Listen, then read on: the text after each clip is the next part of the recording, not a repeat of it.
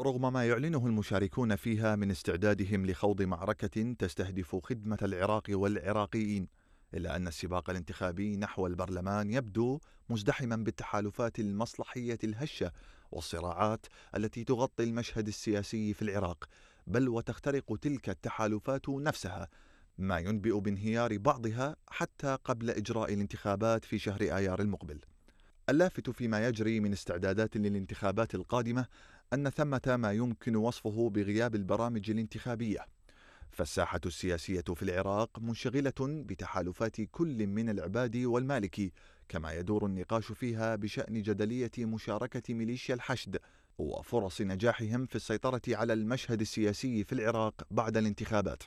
بهذه الصورة فإن الانتخابات في العراق يعد لها على وقع التحالفات التي يراها النائب عبد القهار السامرائي سببا في غياب البرامج الانتخابية.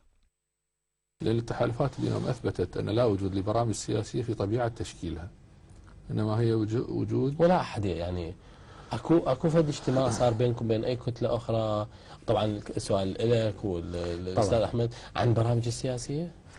نسفت التحالفات أي برامج سياسية موجودة من جانبه يرى النائب محمد العبد ربو أن الانتخابات في العراق لا تعبر بالضرورة عن حال من الديمقراطية وتداول السلطة وإنما تعبر عن تضارب المصالح بين قوى مختلفة داخلية وخارجية جنابك سألت هل, هل نحن في ديمقراطية أم في صراع نعم. لا نحن في صراع لحد الآن نحن في صراع سياسي طيب. صراع لغرض كسب السلطة التنفيذية وكيفية استثمار هذا هذا الفوز. فأسلفت لك أنه نعم هناك تأثير خارجي؟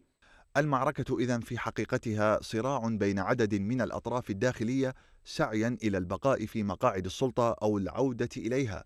وفق سياق تحدده توازنات القوى الخارجية وتأثيرها على الخارطة السياسية القادمة في العراق.